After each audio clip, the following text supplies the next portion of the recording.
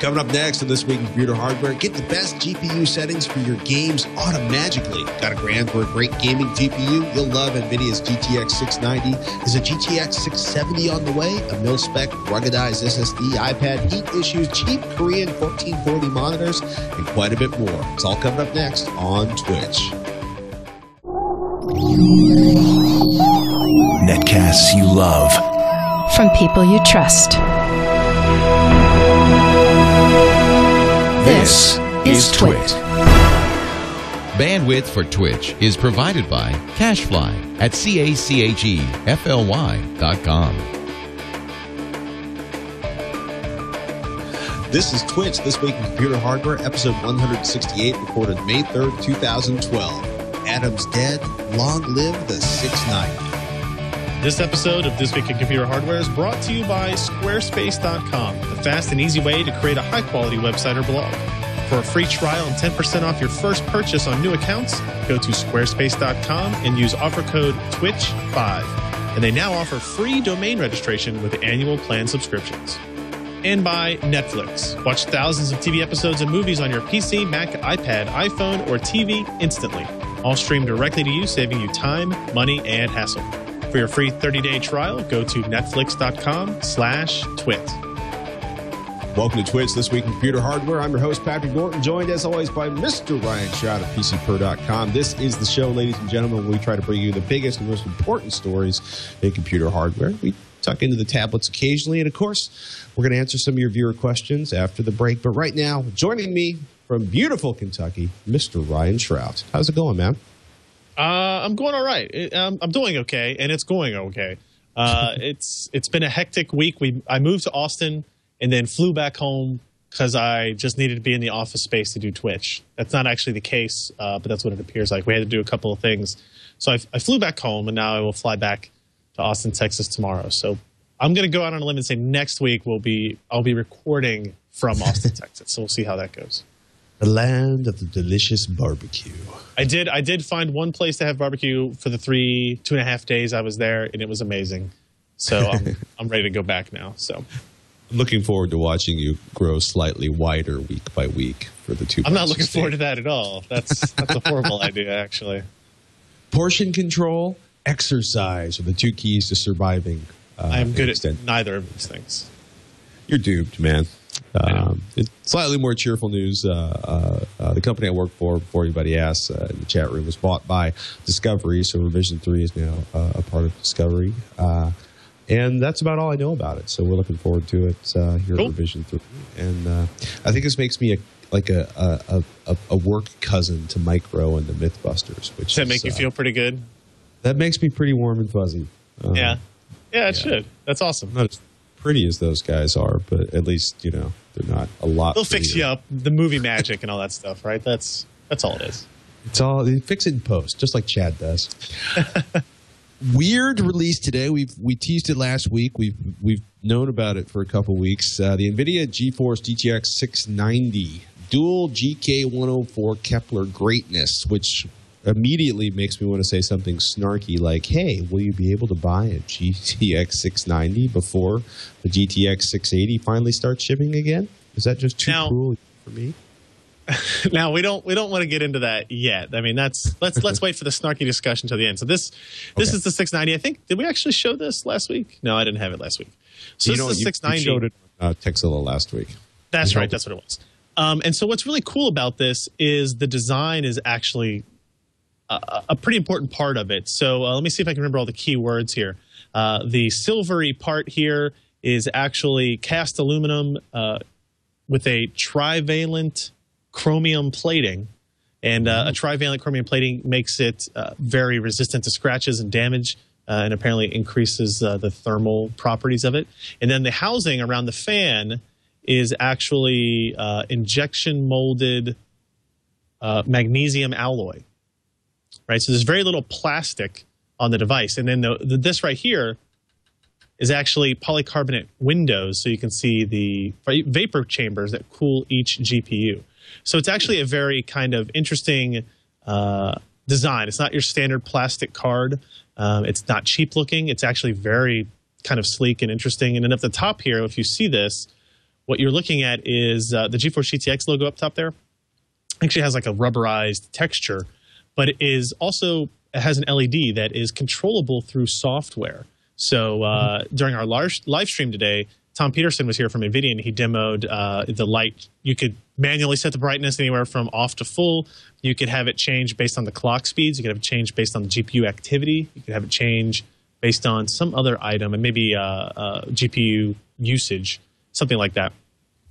Um, so that's, that, that's pretty cool. cool. That's but that's that's also kind of like a show board that was made by Nvidia, right? Is that actually well, being shipped by anyone? It's this, that, that looks this, like a technology. This exact card will be. This is the only 690 that will exist, right? So this is going to be. There's a thousand dollar GPU, right? So um, they they're not going to sell a ton of these, and they want to make sure that that the 690 is just kind of like a special custom piece of hardware, right? So this is what you will be able to buy. This is it um, for, in terms of the 690. I mean, they shipped it to me. If they're showing there on the stream, they shipped it to me in a wooden crate, right? like, in, awesome. remember, remember last week they shipped us a crowbar, and this week we knew why. Now is because they were shipping the graphics cards in a in a crate. now you won't get your you the users when you buy your 690 will not get a wooden crate, unfortunately, but you will get this exact card. Um, for the outputs, you can see here uh, we have three dual link DVI connections and a single link mini display port. Yeah, there we go. Um, and this means you can run NVIDIA Surround three monitor gaming without having to use any adapters. And if you are using three monitors in surround mode, you can use the mini DP port for a fourth accessory display. So that's kind of nice. You don't need any accessories to get three monitor gaming up and running. Uh, what else is interesting? If you look at uh, for power requirements, it uses two eight pin power connections. Yeah, there's that picture. You see it see it lit, lit up there uh, with the GeForce GTX. So the default action is just always on. So it's pretty nice. If we, if we scroll up some, we'll see the, the pair of 8 pin power connectors. This is a 300 watt TDP graphics card, which is a lot, but it's not as much as some previous generation dual GPU graphics cards have been. Uh, and we'll talk about that a little bit when we get into the power. Yeah. It's interesting looking at the power consumption on this board. Yeah, uh, it does have one SLI connector, so it will support quad SLI for people that want to spend two thousand dollars on video cards. Um, you are welcome to do that. Nvidia says, right? So uh, it's it's a it's a really nice graphics card. Just in terms of it, it's not super heavy. Uh, that's one of the benefits of using um, the the aluminum and the magnesium and that kind of stuff. It has great thermal properties. The board design is 10 layer PCB, which typically 8 layer on other cards um, you know, higher uh, amount of copper in the traces and, and, that kind of stuff. It's it's really nice. It's it's very quiet, and uh, I'm really impressed with the build quality of the GPU. Now, people will see that I mentioned it was thousand dollars. So, what kind of performance do you get for that? And it's really really close to uh, the actual performance of two GTX 680s running an SLI, which is kind of the idea. These this is two GK104, two GTX 680 GPUs on a single PCB running at just slightly lower clock speeds than uh, the standard GTX 680. These these so GPUs just happen to be binned so that they can operate at those clock speeds uh, on lower voltage using less power, less leakage, so then they have less heat they need to get out of the card uh, at, at that at that clock speed. That's a big deal because then you're talking about actually having the performance of two GTX 680s, which it turns out you actually can find uh, at yep. least on Amazon this week. Uh, not Newegg's out, Amazon's in. I oh, really? Okay. Yeah, well, it, the the search I did for GTX 680, uh, none in stock on Newegg, but they do seem to have them in stock on Amazon.com in a big way. Um, but you're looking at like 650, 680 bucks for these for an individual 680. So if you were thinking, if you are so unhinged that you you know you're running multi-monitor gaming or or or you need all the frames, if you need the highest frame rate possible, it'll actually save you money to run one of these uh, to run a 690 compared to running. Uh, Pending, we can find these. I haven't seen them for sale yet today. They're supposed to be yeah. on sale in very limited quantities today, and then apparently more will be arriving on May 7th. Um, and and one of the things to keep note is these cards are kind of boutique graphics cards, right? And they tend to end up in boutique systems as well. So your Alienware systems, your Maingear systems, your Falcon systems, uh, those types of things. So I think a lot of those will, will end up there. Um, it looks like the EVGA 690 was listed on Newegg for 11.99, not 9.99, uh, but it's out of stock. That's unfortunate. A 200, a 20% markup on that, but hopefully that will come down. Um, other interesting information about the 690: it uh, operates at less power than a pair of 680s. Um, and if you what's what's what I th- actually what, what I think is most interesting is if you compare the 690 to the 590. If you compare the 690 to the 6990 from AMD, those are both last generation's dual GPU graphics cards. When the 590 came out, it was based on the 580, but it was actually running 27% lower clocked processors. 27%. This case, we're only talking about 4%. So the performance of a 690 is 50 to 70% better than a 590. And it's doing so while using about 40 watts less power than the 590 did. So that gives you an idea of, uh, of the improvement in efficiency in the design, uh, the 28 nanometer process, uh, those types of things, going from the 580 to the 680, and, and what that actually means to the end consumer. It means you can get a 690 if you can find one and if you can afford one, and it's it's not going to be obnoxiously loud. It's not going to be huge. This is an 11 inch PCB. It's not that much bigger uh, than a standard single card 680, um, and it's not going to you know consume 450 watts of power to get the job done, right? And that's that's actually maybe a bigger story than just the performance of it on its own. It's you kind of knew it was going to be if it's close to two 680s, it's going to be the fastest single graphics card in the world, and it, and it definitely is that. But the fact that they can do it with the power efficiency that they have um, puts AMD into an interesting spot because AMD's dual card was supposed to be out first, and now uh, it was delayed for whatever reason. Now, now that 690 has come out, they're uh, in the unfortunate position of do they still release a dual GPU card that uses more power and is less um, has lower performance? Can they discount it enough to make it a, a uh, worthwhile investment for kind of the enthusiast gamer? So there there there are some questions there. There you have it. You excited? I am. I, I'm. They had a second. So some people from Nvidia were in here today. We did our live stream event this morning, and they had two other 690s with them. I tried desperately to accidentally lose one so we could do our quad SLI testing um, tonight.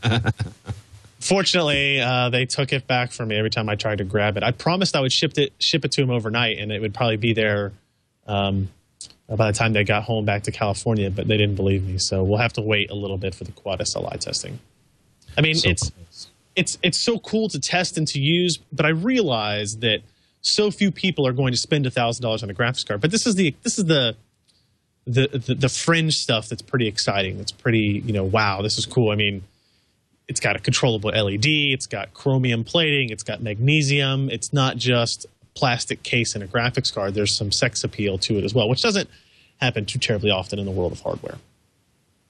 There you have it. So it's it's interesting because while we're looking at the the 690, which is beyond over the top for most people, thousand dollars. 680 availability seems to be back at least on Amazon.com, like 680 bucks. And then a quote cheaper GTX 670 GPU spotted at Malaysian retailer. Um, and uh, the article up on PCPer.com. It seems like MSI has some cheaper Kepler-based NVIDIA graphics card coming soon. If this photo from Malaysian retailer Sycom turns out to be legit, spotted by Lowyat user Chapri, the photo appears to be an MSI GTX 670 GPU. Further, the card appeared on the company's website at a price of 1,399 Malaysian ringgits, which translates to just under $462 in the United States. Interestingly, quote, the box contains a typo for display port. Yeah, I think that's the best part. Dispali port with an inner cap on the P. I'm I'm actually waiting for that new connection type to come out because it's port? a port. Yeah. Yeah, it sounds like a Bollywood movie. Um, Bollywood sci-fi meets GPUs. Um, you know, it, so basically the question is: Is this a leak of a part that's coming down the pipeline shortly, or is it uh, a, a, a ripoff, uh, a terrible, terrible ripoff that some human being just found out about? Uh, So uh, they got- while they were here, I asked the, you know I asked them about that on the live stream, so they couldn't just jump out of the out of the question. They had to answer it publicly in some fashion or the other, and uh, they basically came to this to the conclusion that well, it would make a lot of sense if we were going to make it 670, but they obviously wouldn't say about when. Now, I've been in the business a long time. When you start seeing boxes and you start seeing them for sale at Malaysian retailers, they're probably pretty close to availability. Right. And uh, it's nice. I think, you know, the the $499 GTX 680 and now the $1,000 GTX 690 are great cards and they're just top of the line enthusiast options.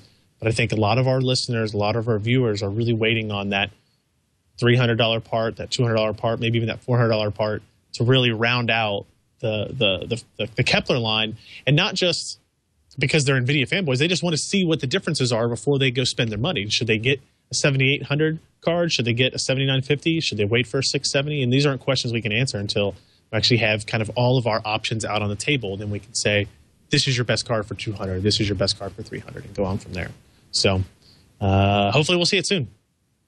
There you have it. It's kind of interesting. Uh, Panasonic and NHK were showing off a ginormous. Uh, this is a classic technology demo. One of the funny things about CES 2012 earlier this year was that there wasn't a new world's biggest plasma display. It's usually one of the things we, we look at for fun at CES is you know 113 inches, 122 inches.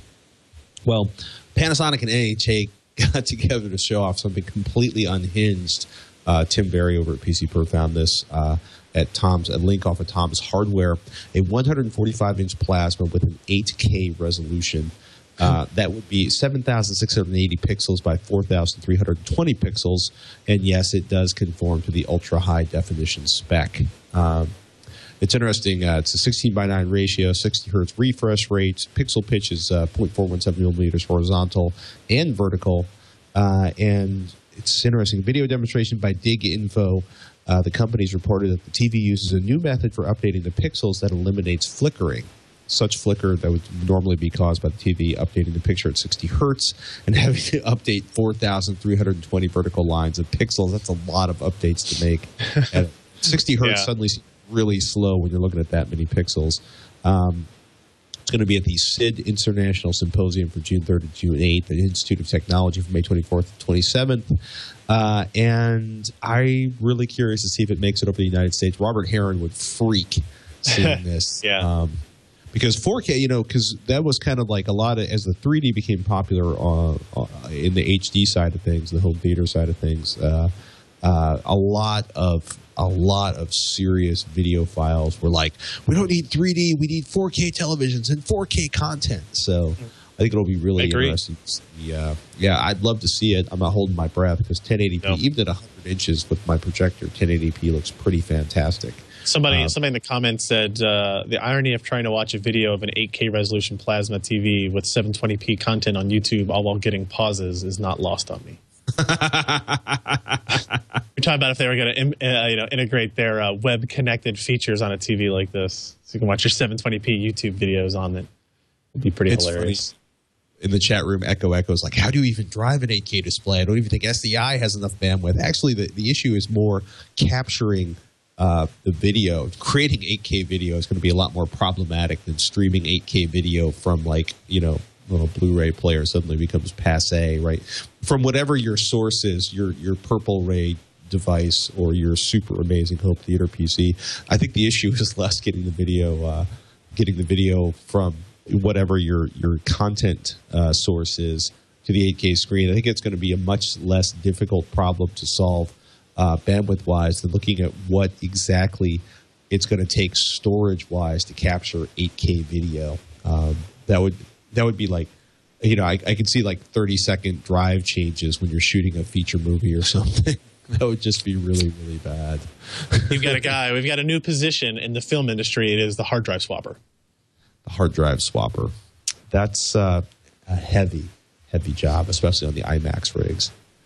Uh, should we talk about the toughest SSD on the planet? Or is that just I had not heard I had not I had not seen this yet, but yeah, definitely. It, it popped up on the feed really late. Um, it's kind of funny. So I'm a, I'm a big fan of uh, of the IOSafe rugged portable. Uh, which you haven't seen at iosafe.com, uh, rugged portables essentially they do traditional rotating media and then a ridiculously bomb-proof uh, enclosure for an SSD. And essentially, as near as I can tell, they they take a hard drive, they enclose it in a polymer, then they glue the polymer, the drive inside the polymer inside of an aluminum case. Uh, I've thrown it, I've dropped it, I've seen them hit by you know a megawatt of voltage. Uh, it's waterproof. Uh, it, it, it, you can melt it. You can cut it in half. Um, but it's you know it's USB 3.0 on an SSD is ridiculously fast. Not cheap. Um, mm-hmm. But if the kind of person likes to drag their hard drive behind their truck, this is your hard drive. So then I saw the toughest hard, the toughest SSD on the planet, and it's really interesting. Uh, telecommunication systems, which is a name nobody on this podcast outside of maybe some people working in uh, military communications is going to recognize. It's the Galatea Ultra Rugged SSD. So essentially, it's it's rolls it's, off the tongue, doesn't it? Rolls right off the top. Yeah. it's the, the MIL Standard 810 military specifications governing a multitude of ultra ruggedized requirements. This SSD is designed for ultimate reliability in the harshest of environments. Designed and tested with the most hostile environments imaginable in mind, these SSDs are surely among the toughest storage mediums available. Um, so if you go to SSD Review and click on the link, it's essentially uh, a mil spec ultra rugged SLC SSD. So traditional sort of military technology, a little bit trailing the uh, the latest and greatest uh, tech mm-hmm. out there. But yeah. the idea is that it's going to be pretty abuse proof uh, in a way that even a because traditional SSDs are really hard to kill. Um, but this is essentially like a SandForce SF1565 controller, which is not exactly bleeding edge. Uh, but it's still it's got be, fairly low read write speeds and IOPS and that kind of stuff. Uh, but, but, the yeah. idea is they're talking about like a mean time between failure of 1.45 million hours, data retention of 10 years, uh, crypto and flash for quote enhanced security erase methods, uh, AES 128 built in. So it'll be interesting, uh, and 20,000 terabyte lifetime write capacity. So I suspect this thing is going to be profoundly expensive. I like what the uh, the uh, SSDreview.com people in their conclusion. This was definitely a fun departure from our standard SSD reviews and allowed us to delve a bit into the differences between the ruggedized sector and the standard SSDs we are accustomed to te- testing. Um, so it's pretty interesting looking at it because essentially it's a very rugged case and a ruggedized design. Tantalum based capacitors are key to providing reliable performance in hot environments and protect the data on the SSD. Uh, underfill, staking, basically, underfill and staking, they support the components on the drive inside the enclosure. Um, you know, it's pretty cool. Um, it's pretty cool. Uh, I'm afraid to find the uh, the cost of it because this is something that's yeah, designed to be deployed in. Uh, uh, you pay for it in tax dollars only, not in real dollars. the special tax dollars. So it's like it's like it's like not even real money. I heard someplace. So. Hey, let's take a quick break here before we get into the rest of our stories and thank the first of today's episode sponsors. That would be Squarespace. Everybody, Squarespace is back. The fast and easy way to create a high quality website or blog. They have uh, we, have talked about them before. It's been a little while, but you you guys should know who these people are. They have an easy to use UI for creating and managing a website or blog.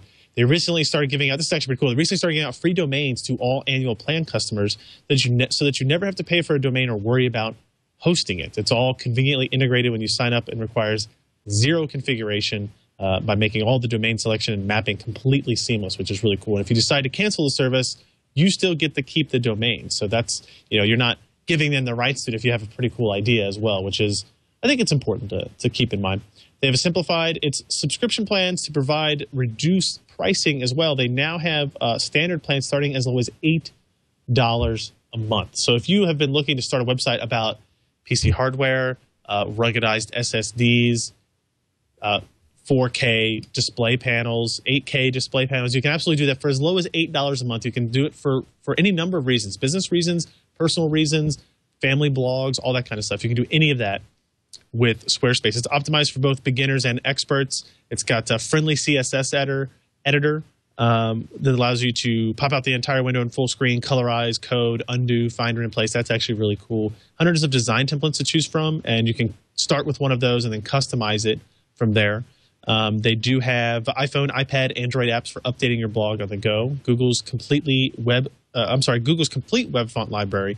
Over 300 fonts are now completely integrated, which is that's nice as well. Online resources and a special support team give you help 24 7. They offer free live webinar classes to help you get the most out of your Squarespace blog. So they're not just going to take your $8 a month and leave you empty handed. They're going to help you learn how to use the service and help you learn how to make better websites. It's very cool. They have blog modules, form builders, Flickr photo displays, Twitter widgets, social media buttons, Google Maps integrations. They have website tracking and stats, so you know who's coming to your site, where they're coming from, how, if your traffic is growing, and all that kind of stuff. It's it's it's really cool. Cloud architecture for speed and site stability. You don't have to worry about your site going down. Uh, if you should get a lot of traffic, if you should get posted on Slashdot or Reddit or whatever it is these days, um, so you can you can and should use Squarespace for all of your website needs. Build it, host it, and update it anytime. For a free trial, here's what we want you to do. We want you to go to squarespace.com. Sign up for a free account. There's no credit card needed. Just try it out and start building your website. You can do it really, really, really quickly. Uh, and in fact, a lot of the shows, I'm not that creative, I guess, they actually will create a website while they're talking about the commercial. It, it, it is that quick and easy to do. Um, then, if you decide to purchase it, use offer code TWICH5, T W I C H 5, and you'll get 10% off your first purchase on new accounts. And don't forget about the free uh, domain registration with annual subscription. So, with this deal going on now, you can use the offer code Twitch5 at squarespace.com, TWICH5. You'll get 10% off of your new accounts and free domain still. So uh, it's definitely worth checking out if you have any desire to build a website for any purpose. If you want to show off your photos, talk, start a blog, do even if you have a small business you want to start something, check out squarespace.com. Uh, we really appreciate their support, and uh, we are looking forward to seeing what you guys build with the tools. Woohoo! Shall we move on to the, the the next stories in line? What do we got here? Alienware updating a laptop lineup with Ivy Bridge That's so processors. this is kind of a quick thing, but we get emails all the time. Hey, I've been, I was waiting on Ivy Bridge uh, processors before I upgraded my laptop. Um, you know, what about gaming machines? Th- this this kind of answers a lot of those questions, right? So the Alienware M14X, the M17X, and even the Behemoth M18X have been upgraded with the Ivy Bridge processors. That's that's actually nice. Um, let's see. I, I'm I'm really interested in the M14X now. The M14X with the Ivy Bridge with uh, some discrete Kepler graphics going on in there could be a a really really nice system. Um, the M11X unfortunately is still still dead. It, it did not get brought back to life with the Ivy Bridge pro, uh, platform release, unfortunately. Um, yeah, so the M14X now comes with a standard Kepler GT 650M discrete graphics solution. Uh, and you can go all the way up to uh, 675M or Radeon 7970M on the M17X. And then with the M18X, you can do SLI 675Ms or Crossfire Radeon 7970Ms. So if you want just more than desktop capable gaming capability, the M18X will let you do dual GPUs and that kind of deal. The M14X, I think, is is is, is pretty interesting uh, from a cost standpoint and from a, the capability standpoint. I know, I know, uh, we, we've talked about these a lot before, but uh, I, I think I think these these machines worth worth looking at. Some people don't like the stylized stuff. I, don't mind it. What about you, Patrick? I think it's gonna be interesting to watch. You know, I, I I'm with you. I'm like, look, where did the M11X go? When is it going to be coming back? Um, I thought it was kind of it's kind of funny to watch the refreshes going around, um, whether or not you know. It's it's interesting watching you know several major vendors that are waiting um, till later this. Basically, been waiting until later this year to flip the switch on the Ivy Bridge. Uh, it's interesting seeing who's going to be actually running. Uh, both the older CPUs and the Ivy Bridge CPUs simultaneously, which is a little odd to me. Um, and- But mostly, though, I'm with you. I want the M11X back. I, I heard that they might uh, be rebranding it as an Ultrabook, like an Alienware Ultrabook coming Really? out. Like they're gonna try to they're going to try to do that. That's that's a rumor I heard somewhere. Don't tell anybody I told you that. Okay, this is just between you and I. you and I and our friends. I thought it was Exactly. pretty interesting. The uh, the GeForce Experience Cloud Service, um, which was the the next story on the list. It, the idea that you can actually have an application uh, or a service that'll look at your system, look at the game, and then automatically recommend, based on your hardware configuration, automatically recommend the best possible settings for the best quality uh, on the game. And it's kind of interesting. Will, will, will there be a slider that lets you decide, like, do I want higher frame rates for better gaming uh, experience in my Twitch games, or is it automatically going to uh, is it automatically going to do things to make the, the visuals think- look the best? it could still change. The versions I have seen um, basically are just apply settings, right? So the, the, the scope of it is really impressive when you think about what they're trying to do. They're they're not just looking at what graphics cards you have. Uh, they're actually looking at your graphics card, your processor, how much memory you have, um, what storage you use, anything that might affect gaming performance. They are actually looking at in this service. They're analyzing it, and they so they have this this this test facility uh, that does highly automated testing with thousands and thousands of systems in, in Moscow. I think actually, this is kind of a project they've been working on for a long time. Is the ability to do this because what you know they Nvidia will thrive if PC gaming thrives, and one of the ways they can do that is just by trying to improve the gaming ecosystem as a whole. Right now, obviously, they're trying to do it with their NVIDIA brand on it and calling it the GeForce experience. But the idea is when you put in a game in your console, you don't have to worry about setting what uh, shadow quality is the best. You don't have to worry about do I want to run in DX11 or DX9 mode in this particular one? Uh, what kind of water detail levels do I want? You know, you don't have to do that. Now, PCs, you don't have to do that either. You can kind of take the default, but most of the time the default is pretty crappy because the software developer is not really spending a whole lot of time uh, trying to make sure that works. And even if they do spend a good amount of time, like Valve has done in the past, that kind of stuff gets outdated. So what NVIDIA wants is to bring that same kind of quick experience to PC gamers by you download the tool, maybe it's included in the driver, I don't really know, and it searches your hard drive for all the games you've got installed, and it says downloads data from the from the cloud. Like here's what sir, here's what settings we recommend. Would you like us to apply them? And you can hit yes, and you don't have to go into the game and fiddle with anything. It's just it goes in a config file and does all that stuff for you. And next time you start your game, it, it is set up uh, in an easier way. Now you can still go in and edit things. I don't want people who who like to tinker to to get aggravated by this, but the idea is even for those guys, I think it's a great idea to have a starting point. Here's what NVIDIA said. Well, let me play it for a little bit. Nah, I would rather have a little bit higher frame rate, so I'll turn down this and this. Or maybe I would rather see better image quality, and I think the frame rate is more than enough, so I'll turn up this and this, right? And it gives you less knobs that you necessarily have to change to get started. Uh, I, I, think it's a really good idea. Um, I, I, they they announced it uh, at the same time they discussed the 690 and said that the beta testing was going to start in June, which is less than a month away now. So uh, end users will will get their hands on this. It sounds like pretty soon, and we'll see if it works at all. I guess.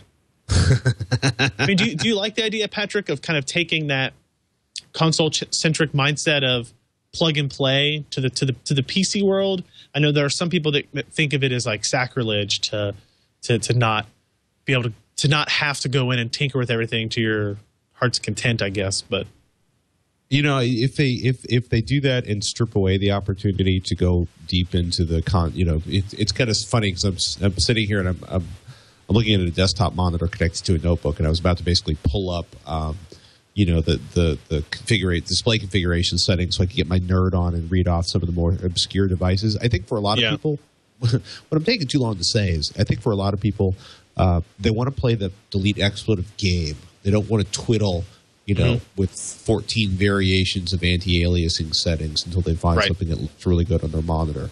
Um, you know, for the people like you or me who may actually enjoy spending an evening twittering around with with obscure settings inside. I'm not going to lie. I don't. I don't like doing it. I don't. Uh, I don't think it's fun to like because that's but that's the normal process that I go through. Right? We get a new game in. It's like, well, let's see if we can use this for benchmarking and testing, and people say, well, all you do is sit around and play games. Well, really, what I did all that day was spend three hours at the office testing all these different settings. Well, if I enable depth of field, how does it affect performance throughout the game, right? And if I, oh, well, that that just totally destroyed this card. Okay, well, now if I enable high quality shadows instead of medium quality shadows or low quality shadows, how does that affect performance, right? You know, and and just as a maybe more so than a user that's just going to play the game, we're trying to look for ways to compare uh, graphics architectures and that kind of stuff. So it's uh, it's I think it would be a benefit to even have a starting point, right?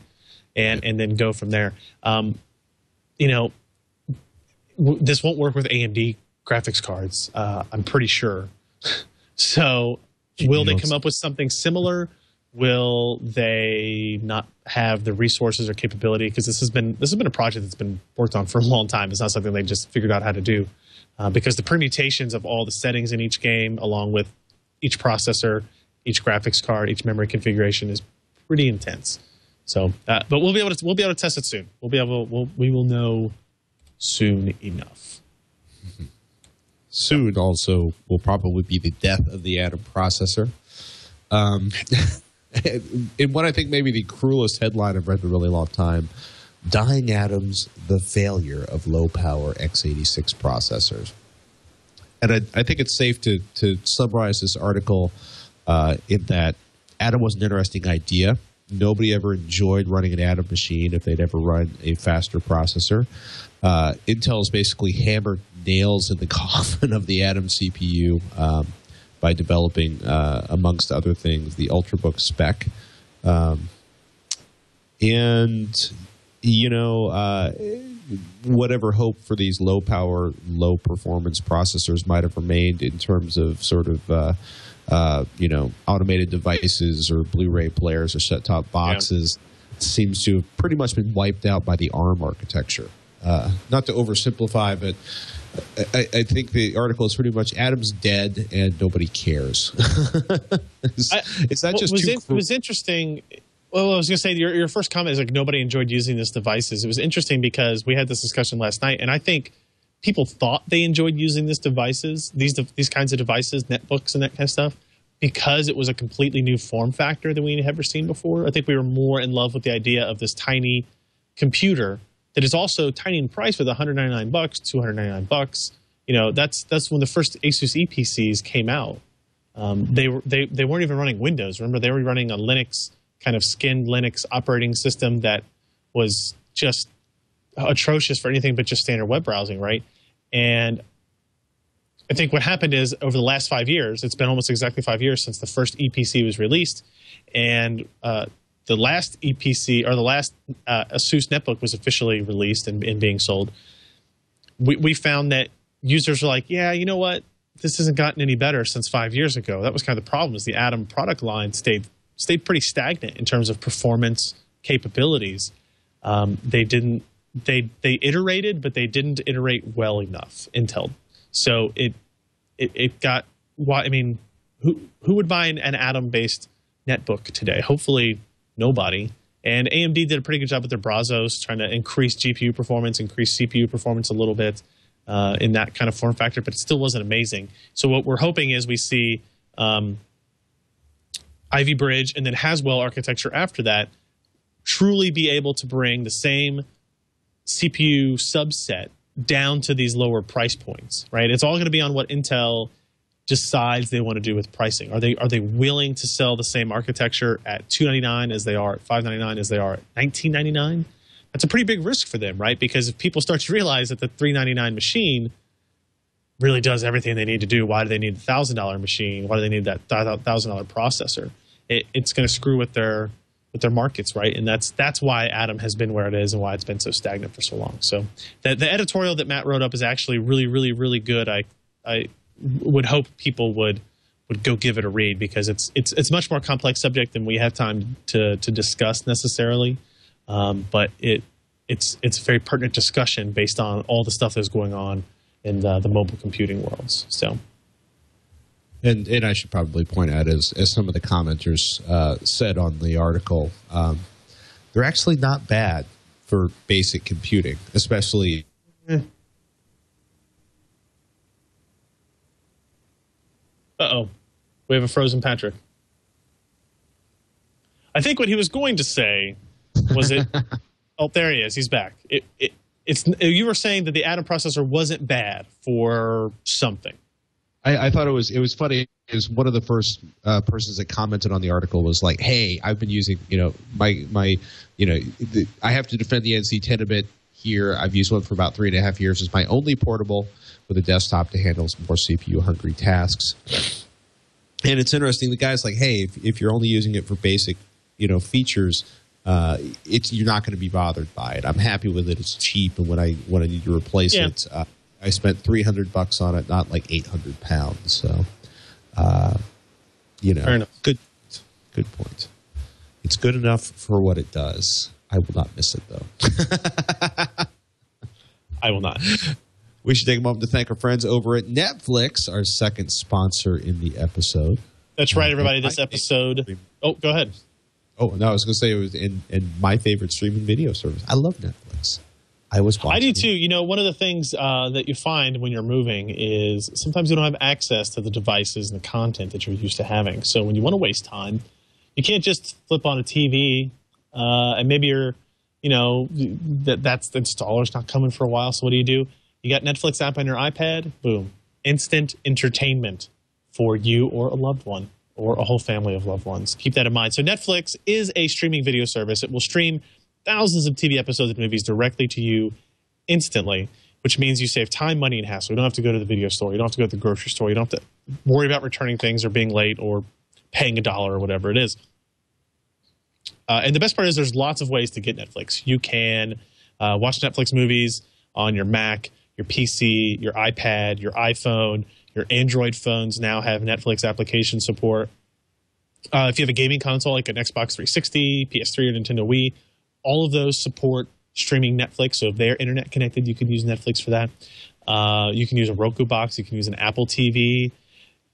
Most of these devices that that are being sold now, Blu-ray players, DVD players, TVs themselves will have these streaming Netflix applications already embedded in it. So you might already have access to Netflix uh, without even knowing it. In which case, our offer to you is going to be amazing. We want you to try Netflix free for 30 days on the, any of these devices.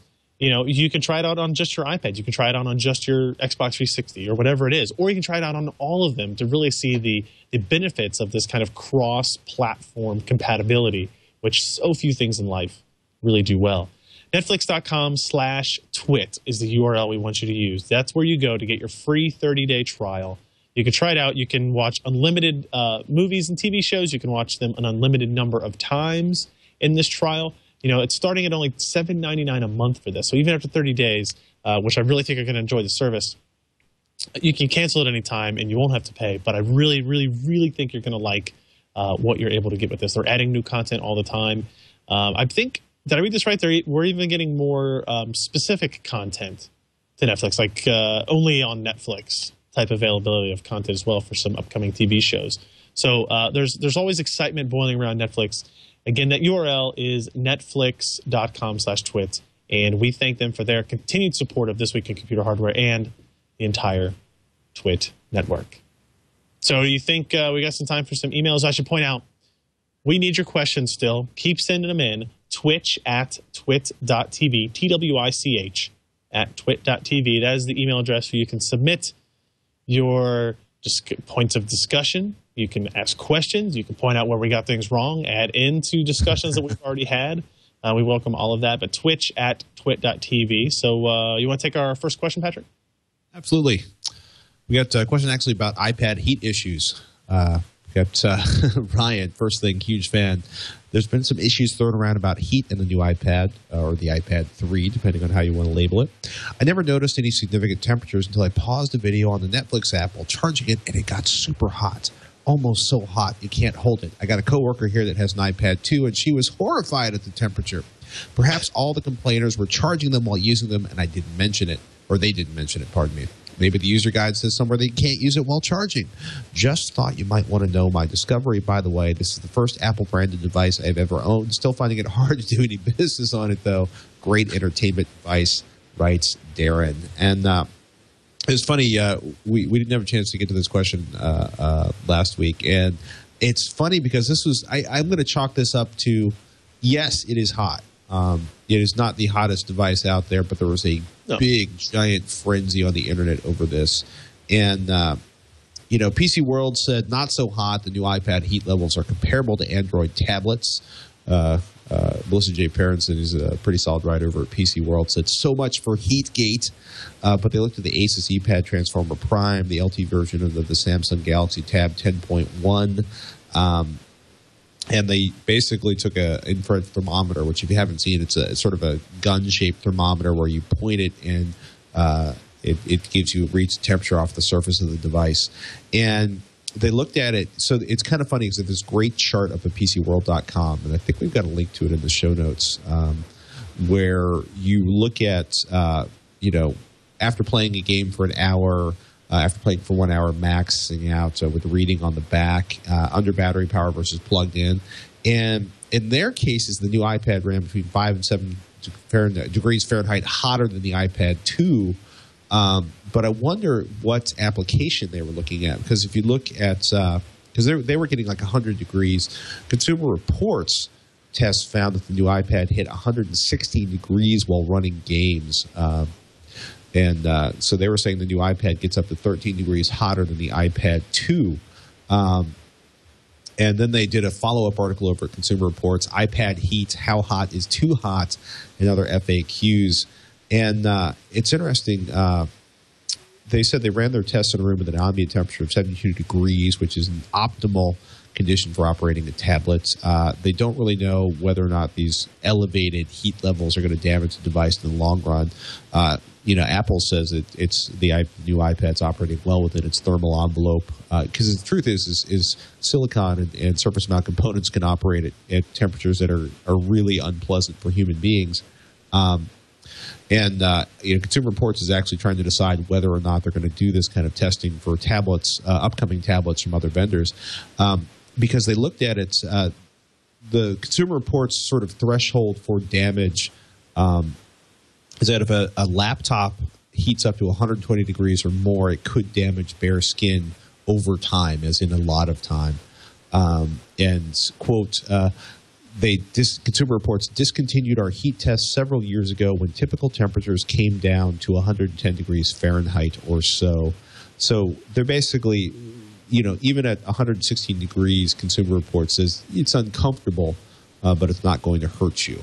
So but it's kind of funny. Like 160 degrees is pretty hot, but it's not like boiling water. You know, McDonald's coffee hot. Um, so you know, uh, if if you are concerned about, uh, you know, I, I, certainly, if I was thinking about having kids, probably wouldn't want to put it on my lap while gaming and charging. same.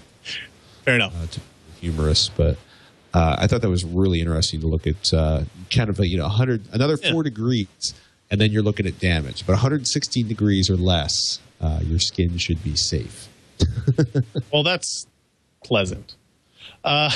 Let's go. Uh, we've got an email here from uh, Jeremy about emails. He says, uh, The last few podcasts, I've heard you guys asking when the cheap 1440p monitors would be here and have been meaning to write in, uh, but just got around to it. Currently on eBay, there are several resellers listing 27 inch 1440p monitors for around $350 shipped. I've had one of uh, the Cat Leap. Am I reading that right? Cat Leap models. Okay. For about a month now and have been incredibly happy with it. Apparently, these monitors are available in South Korea for around $250. And so people are just reselling them on eBay for the people like us in the States craving them. The only real issue seems to be questions surrounding warranty, support, and shipping costs and returns. But for the price, it's really hard to complain. Have you seen any of these, Patrick? Uh, and I, and what is a cat leap? That is uh, something else I'm going to look at. Here, I'm gonna I'm gonna drop a, a, link we can we can put in the video feed there uh, in okay. the show notes.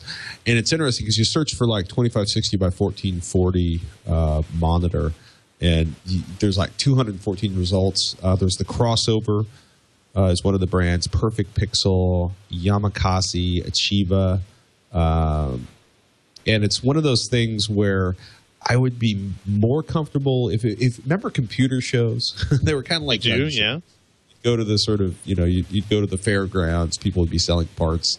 Um, achieva shimian uh, that's another one. The 3 view yep. pc bank. But basically what you have here is a lot of vendors you've never heard of um, or a lot of uh, piece or or, or uh, monitor vendors you've never heard of. Um, and you know this is one of those things where you know you take a risk you know is the uh, you know the first Say one on the list is the crossover 27q led the Dream Dash seller is 98.9% positive feedback. Um, you know, I'm looking yeah, I'm, down. I'm curious yeah. now because I'm looking at them on eBay. This Achieva Shimian. Uh, you know, basically, if you have more than one dead pixel in the center, they consider it faulty. You need five dead pixels in the other areas to be considered faulty. Um, you know, they. Uh, it's I think it's interesting that that they will not send you uh, a specific serial number if you ask for that. Um, the plug type is C for Korea, so you need to have a multi-plug or voltage transformer for your mm. country plug type and voltage, uh, which should be an issue because at, at this point it says uh, it's a 220 volt monitor for this one, so that could be an issue for a lot of people. Um, you know, this is this is an interesting thing. Like, let's check the perfect pixel. How many volts is it running on? Uh, you know, finding a 220 volt transformer is kind of a PITA. Uh, Mhm. Oh, look, Worldwide Universal Adapter is a free gift with the perfect pixel monitor, Ooh, Um, which is again also very Korean. Uh, you know, so you're not going to be reading the specs on this. Right. Yes. Unless you- don't read the back of the box. So you know, this is I think this is one of those things where I'd I'd, I'd be I'd look for vendors that uh, had a really good reputation, and I'd look for a return policy that didn't seem too onerous, um, or I'd wait for more mainstream vendors to come down in price. I don't like to wait. That You know. Yeah, 220 volts is going to be, you know, you're definitely going to need a uh, a universal. You, you're going to need if you need a transformer for that, uh, you you might want to see if they'll bundle one with the device. I think it's interesting. It's it, you know, it's definitely something to consider. I feel like this is something we should try. I feel like this is uh, this is right up our alley. So I'm I am tempted. The the new Yamakasi cat. There it is. There's the cat leap. I found the cat leap. I'm kind of tempted to. if if I can't own a monitor that says Cat Leap, Does it say? Oh, it says Yamaka. Oh, it says cat leap in the upper left hand corner. I'm very excited. I, you know, uh, I wonder if I can buy one of these without my wife killing me. yeah, We'll, it's uh, for work. It's for You got bought work. by Discovery. What's a Cat Leap? What's a cat leap between friends? cat Leap between friends. Come on. Have it. Well, I. Uh, let's let's see. We'll see. We'll, We'll see. see. We'll see. We want to take uh, another email here. Should we talk about uh, memory limits or 32 gigs of visualization home lab? Uh, Your email Brandon. Okay. Uh, Brandon's got an email about memory limits. He says, Love the show. Thank you, Brandon. I'm currently running an E EVGA 790i SLI for the Win FTW motherboard with 6 gigs of DDR3 memory. I've looked at all the documentation for my motherboard and the firmware release history for my motherboard and cannot find written support for more than 8 gigs of memory. The motherboard has four slots. The user's manual states that it can support up to 2 gigabytes per slot. When I purchased the motherboard, the largest available memory was 2 gigabyte sticks. I now see 8 gig sticks available. Is 8 gigabytes a real limitation for the 790i chipset? Or is it that support was based on what was available during the release of the motherboard? Before I sink $300 into 32 gigabytes of RAM, I'd love to hear your thoughts. So, Sorry. yeah. Uh, this is so this is the LGA 7075 chipset. I had to go look it up. It's been a long time. It's Actually, I think I have a motherboard, but the processor. I have this exact motherboard in the back room with the processor Really? still installed. Um, the problem, even though I know he's thinking, he's like, well, they thought two gigs was the maximum per per slot because back then there were only two gig modules, and and that's not necessarily the case because of the memory controller. That's the limitation. It's not necessarily that those weren't there yet. Um, There's a possibility that it might recognize four gig modules, but I would somehow very much doubt it. And I, you definitely should not spend the money uh, to figure out. Now, if you have a, a friend who has four gig modules that you can borrow for five minutes and see if your system boots up and recognizes all the memory, um, that might be worth trying out. But uh, I'm going to go out on a limb and say that uh, you're not going to be able to support more than eight gigs of memory. And in, and in reality, uh, you know, depending on what you're doing, if you add another, you've got six in there now. If you add another two, eight gigs is a lot of memory for just about anybody doing just about anything. If you're not doing giant unhinged video editing or working Right. with like you know two gigabyte photos or something like that it's it's it's interesting i'm up on the uh, 790i uh, sli page on nvidia.com Yep. and it's kind of funny they don't actually they're specking the, the, the slots but they're not specking the actual memory uh, Right. maximum on there which is always frustrating um, Gosh darn it. NVIDIA. Well, in their defense, it's an old product. That's true. Yeah, this is this is a four, this is literally a a more than four year old design. So, uh, Pentium D, Pentium Four, Penman, Core Two Quad, Core Two Extreme, Core Two Duo. Yeah, you know what? I'd, I'd Ryan's right, man. take your eight gigabytes and run, and and save the cash for your for your next motherboard upgrade.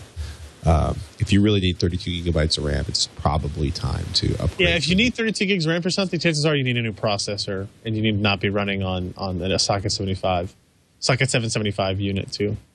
On the So- upside, you know, memory is so cheap. Two gigabytes sticks. I was I was uh, introducing actually my CEO to the PCPer.com uh, leaderboard today because he's built a new gaming PC for his son, and uh, he was laughing. So I'm like, you know, wait for you know, poach yourself a 3770K. It's going to be totally awesome. The 77 motherboard's awesome, and then he like gets to the Corsair XMS eight gigabyte memory, and he's like, that's ridiculous. Fifty two dollars. That's so cheap.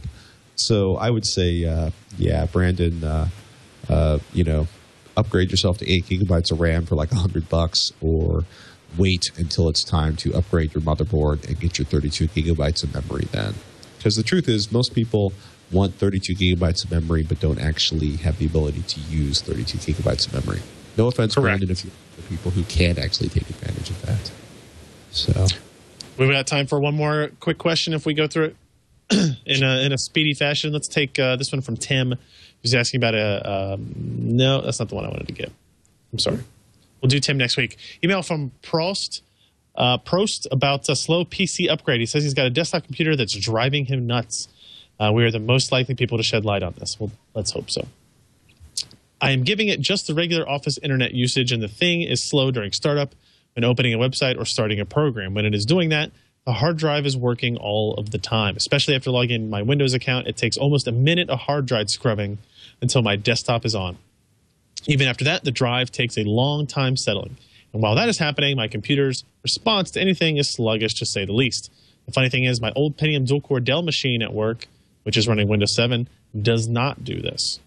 Here are the specs. It's an Athlon 2 X4 620, uh, AM3 770 chipset motherboard, 8 gigs of memory, HD 57, or 5670 graphics card, 2 terabyte standard hard drive, um, Windows 7 64 bit, and uh, yeah, there you go. Um, his question is Would upgrading the CPU to Phenom 2 help here, or is it just another case of get an SSD or even another PC, which I'm really starting to consider?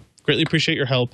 Uh, Prost, which means cheers in Bavaria, Prost, So- Zoom Prost. or educating people uh, in more than just computer hardware. So here's my thought: he, if if you're taking more than a minute of hard drive scrubbing after you boot into Windows before things are like active and and it, you shouldn't have that problem uh, on a two terabyte hard drive. I mean, an SSD is going to be faster, and chances are it will solve this problem for him. But I don't think it's the root of the problem.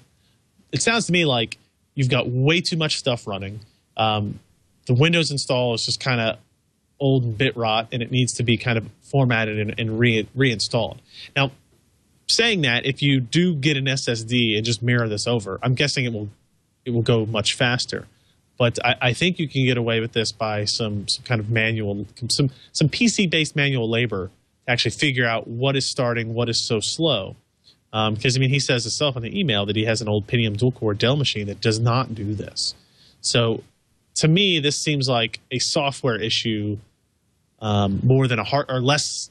It's a software issue more than it is a hardware issue, and he may be lucky in that this is one of the cases where you can just throw more hardware at it and it fixes the problem, as opposed to actually going in to fix the problem. So he just needs to decide kind of which way he wants to go there. Yeah, I, I agree 100% there. Somebody actually, we did this big sort of list of potential upgrades for a notebook for a user a couple weeks ago. And and one of our faithful viewers on Tekzilla emailed me like, dude, you're like king, just reinstall the operating system and, and make sure you don't have like four terabytes of files sitting on the, the desktop. Uh, Right. Before you spend any money, and I'm like, wow! For the first time in my life, I didn't say wipe the system, reinstall Windows, make sure your drivers are up to date, you know, and and and you know uninstall all the cruftware that you're allowing to start with the system. And I was like, oh wow, that's weird. Um, but yeah, a minute uh, to start uh, of, of of of scrubbing uh, for your hard drive, grinding back Yeah. and forth. It's just There, that's there's just, a there is a small chance there's something wrong with the hard drive, but I think it's pretty small. Um, Yeah. You know, but uh, that's yeah, that's what I would. Well, in which case, back up your important files onto an external drive or, or, or an online service. Do that first, preferably an external drive, just because it's so fast. then you know reinstall Windows in your applications, and you know try to minimize the number of things you allow to start when you boot your PC, and you know especially there also going to be something weird in the background uh, uh, running that's just doing nasty things in there, but it's shocking how how how much uh, performance you can bring back to a PC simply by unloading a lot of stuff that loads on boot, uh, mm-hmm. especially with PC. So. Oh my goodness. Yeah, don't forget, software can make your hardware look slow. it's not something we usually own up to on uh, on TWiCH, but it's something to remember for everybody out there. Yes. So, uh, any idea what's coming up on PCPer this week, or are you just I blinded have, air travel at this point? Yeah, I really, I have, I have no clue what we're gonna. We've got, uh, we've got some malware stories we're to talk about, kind of some misconceptions in that. we have got a story going up tonight on uh, the Trinity uh, AMD Trinity based rumors that are out there.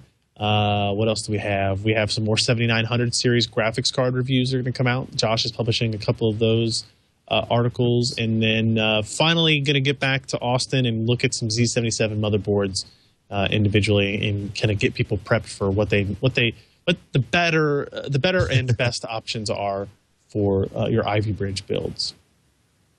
Cool. And how about how about on uh, Tekzilla? I was on there earlier this week talking about Ivy Bridge. Actually, that was a lot of fun.